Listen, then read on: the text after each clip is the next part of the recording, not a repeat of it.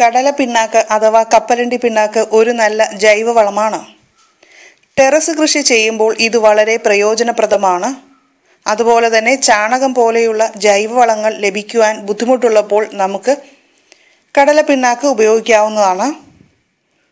പലചരക്ക് സാധനങ്ങൾ വിൽക്കുന്ന കടകളിൽ നിന്ന് കടല പിണ്ണാക്ക് അഥവാ കപ്പലണ്ടി പിണ്ണാക്ക് വാങ്ങാൻ കിട്ടും.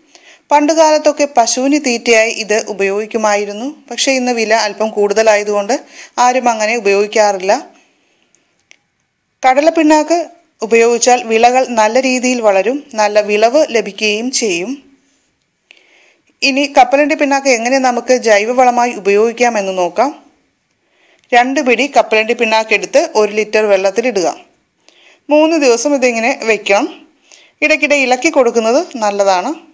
ഇതിന്റെ തെളി ഒരു ബക്കറ്റിലേക്ക് ഒഴിച്ച ശേഷം വെള്ളം ചേർത്ത് നേർപ്പിച്ചാണ് ചെടിക്ക് ഒഴിച്ചു കൊടുക്കേണ്ടത്. ആഴ്ചയിൽ ഒരു പ്രാവശ്യം നമുക്ക് ഈ രീതിയിൽ ചെടികൾക്ക് വളം നൽകാവുന്നതാണ്. കപ്പലിന്റെ പിണ്ണാക്ക് ചെടിയുടെ ചുവട്ടിൽ നേരിട്ടിട്ടാൽ ഉറുമ്പ് കൊണ്ടുപോകാൻ സാധ്യത കൂടുതലാണ്. കുഴിയെടുത്ത് അതിലിട്ടാലും ഉറുമ്പ് വെറുതെ വിടില്ല. അതുകൊണ്ട് തന്നെ പുളിപ്പിച്ച് കപ്പലിന്റെ പിണ്ണാക്ക് ഉപയോഗിക്കുന്നത് വഴി ഉറുമ്പ് ശല്യം ഒരിക്കലും ഉണ്ടാകില്ല എന്ന മെച്ചവും നമുക്ക് ഈ കാര്യത്തിലുണ്ട്. ഈ വീഡിയോ നിങ്ങൾക്ക് പ്രയോജനകരമായി എന്ന് വിശ്വസിക്കുന്നു. നിങ്ങൾക്കിത് ഇഷ്ടമായെങ്കിൽ ലൈക്ക് ചെയ്യുക ഷെയർ ചെയ്യുക കൂടുതൽ വീഡിയോകൾക്കായി സബ്സ്ക്രൈബ് ചെയ്യുക.